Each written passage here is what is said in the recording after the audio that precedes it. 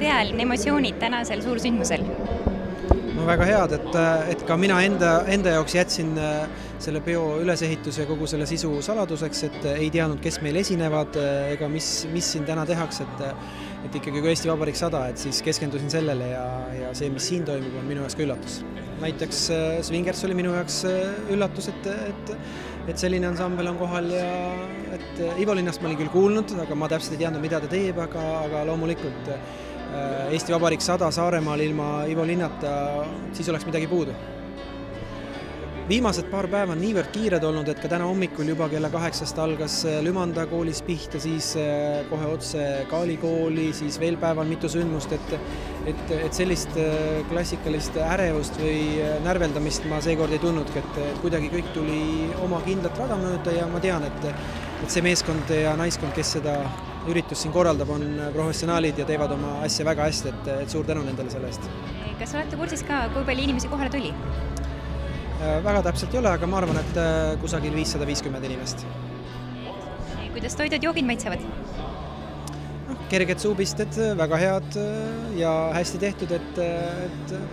aga loomulikult täna ei ole see peamine, et äh, ennekõike on see, et hea seltskond, äh, omavahelised vestlused, äh, näha väga paljusid selliseid inimesi, keda igapäevaselt ei näe, sest ka väga palju on ka Tallinnast ja, ja ka veel kaugemalt inimesi siia tulnud, et, et see on põhiline, et hea, hea suhtlus, hea seltskond ja kes soovib, saab ka tantsida. ja kas nii suurejooneliselt hakkabki vastuvõtt olema või on see ikkagi nüüd vabariigi sünnipäeva puhul?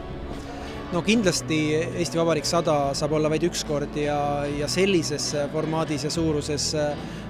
saja esimest näiteks juubelit pidada või sünnipäeva pidada,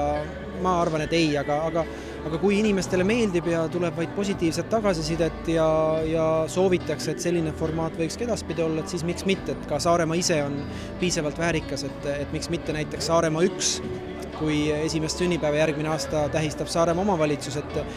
taas oleks põhjust tähistada mõnevõrra suuremalt